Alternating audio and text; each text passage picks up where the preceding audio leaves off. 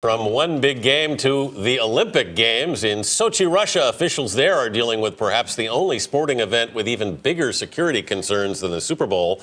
Mark Phillips is there. Mark, good morning.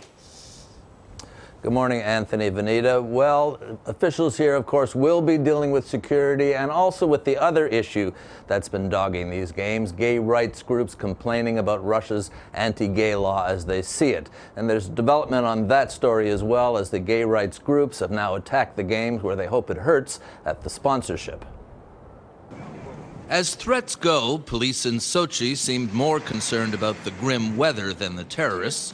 These games, held here among the palm trees in the most southern part of Russia, may become better known for rain and mud than snow. A last minute cleanup is underway, and there's a lot to clean up. The main Olympic site, built on a former swamp by the seaside, will be protected by a security force about 40,000 strong part of the so-called ring of steel that surrounds the entire Sochi area. And the first members of the U.S. team have begun to arrive.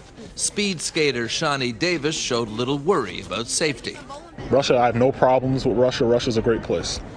But as Russia gets ready to welcome the world, gay rights have again been brought to the forefront. In an open letter, activists have now urged Olympic sponsors to speak out against the country's controversial law, barring what they call gay propaganda. It's an issue the organizers here hope will go away, but won't. We welcome everybody, regardless of uh, sexual orientation, gender, or religious, and everybody will be safe here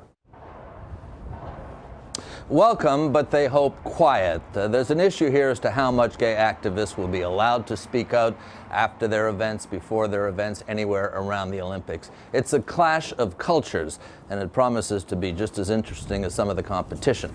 Anthony, Vinita. Mark Phillips in Sochi, Russia. Thank you.